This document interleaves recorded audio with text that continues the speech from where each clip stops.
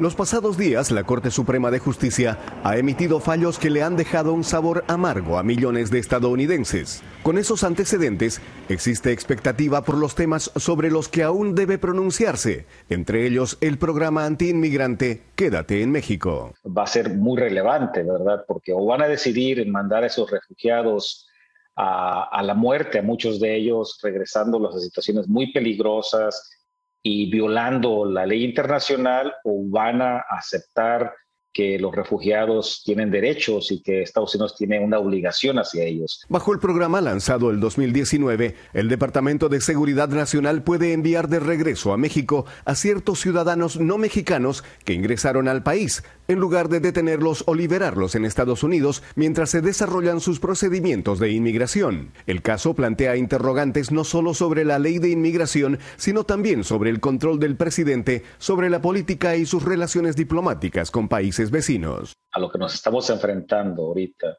la Suprema Corte de Justicia, no es solo una, agenda conservadora, eh, radical, sino una agenda peligrosa. Quiere decir que eh, están, la mayoría de estos jueces está abocados, están abocados a quitar derechos, especialmente aquellos derechos para las minorías en este país.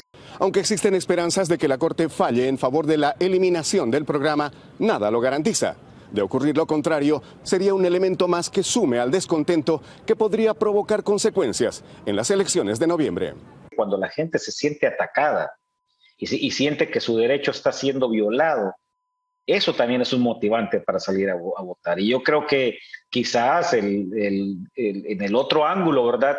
estas decisiones tan radicales y tan racistas pueden, pudiesen estar motivando un electorado que pueda dar alguna sorpresa en estas elecciones de noviembre. Otros temas en agenda que generan preocupación están relacionados con el cambio climático, además de la protección laboral de veteranos. La Corte se pronunciaría el día miércoles. Desde Washington, Alfredo Miranda, cierre de edición.